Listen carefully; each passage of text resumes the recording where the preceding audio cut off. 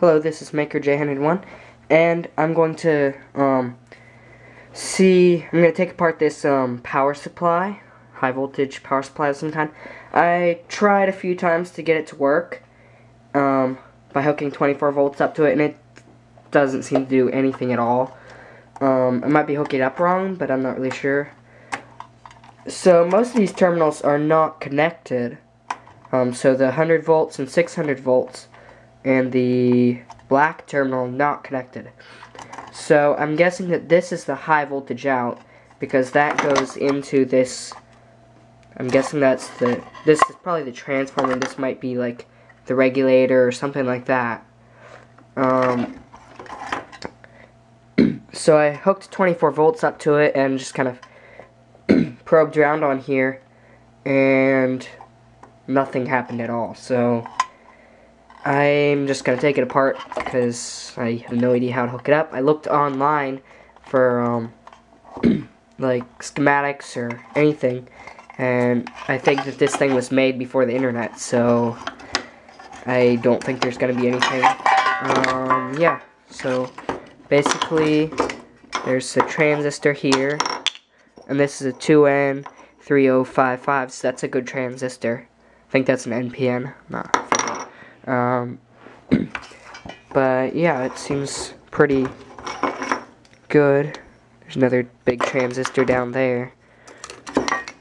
Right there. Um, yeah, so take it apart a little bit more, pry open this.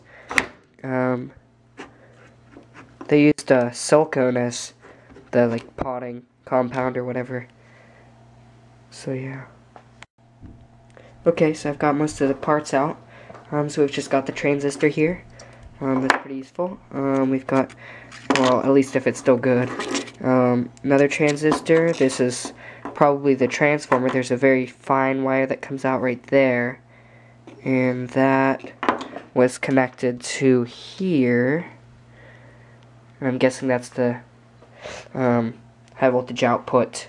And then this is like a rectifier and um, regulator and such.